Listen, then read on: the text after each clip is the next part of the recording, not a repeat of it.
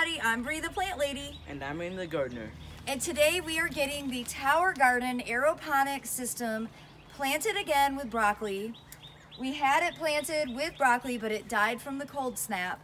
So we're gonna get it replanted with the seeds that we sowed about six weeks ago.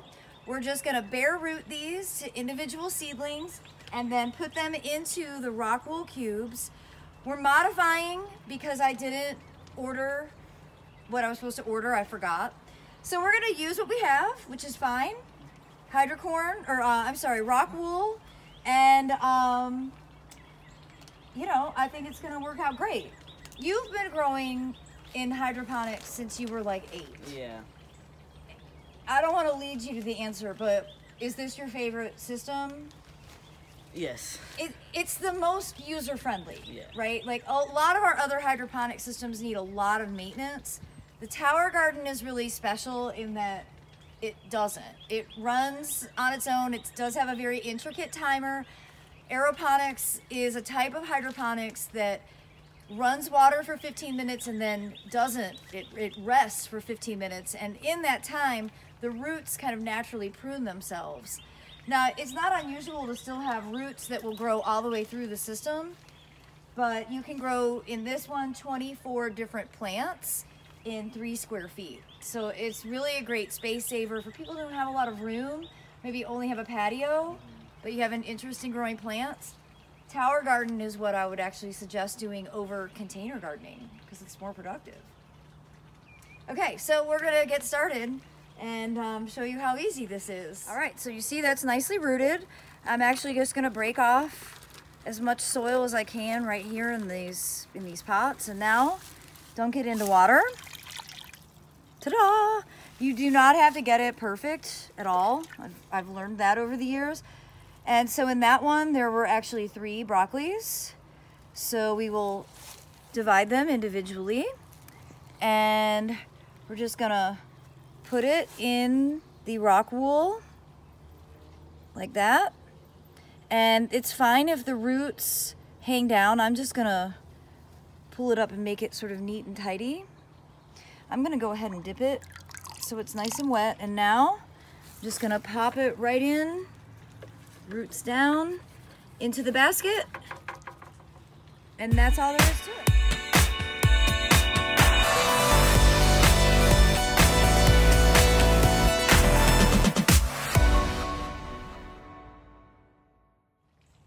You can see the whole thing is planted. We did all one type of broccoli. This is Green Magic.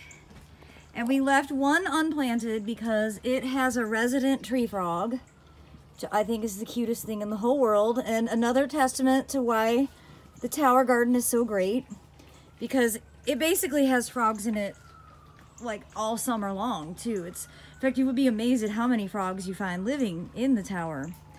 So now Aiden is getting out the nutrient solutions, something he's a bit of an expert at. And over the years, we've also learned just kind of wing it. Probably not the best advice. Do we usually do two or three? Like two and a half. Okay, three.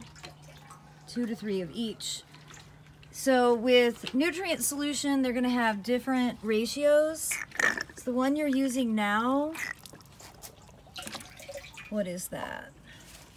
That is no nitrogen, so 034 NPK. And this one is mostly nitrogen, 502. So they balance out. And I really like the Tower Garden nutrient solutions. I just, I have to order that along with new baskets because my baskets have, I actually have quite a few that tomato roots mangled and they ended up, you know, having to get discarded. But there's that little tree frog again. God, it's so cute.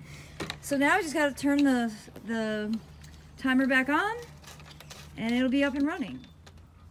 Like I said, the timer is not the kind of timer you'd use for like watering your lawn. It's much more intricate. And I just want to make sure in the time that it wasn't running, that nothing went wrong. Probably should have done that before we planted. I'll just hit on It's running. and it's running. All right. So I think I'll just let it go back to timer. and it'll turn on as needed. Aiden's become a really good photographer. He's been capturing all of these tree frog photos. You can see the tower garden is running. See where you don't have baskets, the water runs through. So it's a water pump, pumps it up just like a fountain, and then it gravity feeds down. And again, you can see that nutrient solution makes the water slightly amber color. Well, I hope you'll be inspired to consider growing aeroponically like we do in the tower garden. The link for learning more about it is in the description. I also hope that in general you will just look at growing more of your vegetables from seed. As I mentioned in another video, I'm, I'm appalled at how expensive vegetable plants are, are at. They can in Lowe's and Home Depot at $5 a piece. That doesn't make sense. You know, here we have what, 20 broccoli plants, all of which we grew from seed and the seed costs probably around $2 a packet and there was probably 150 or 200 seeds in the packet. So growing from seed is the solution. And if you don't have a lot of space, consider getting a tower garden. You can grow a lot of different plants. You don't have to just grow one thing. And it only takes up three square feet. So it's definitely my favorite way to grow in water. And I think it has Aiden's stamp of approval too. Well, if you found this video to be helpful, please give us a thumbs up, share it with your friends, and be sure to subscribe to the Brie the Plant Lady YouTube channel for more practical gardening advice. Thanks for watching, everybody.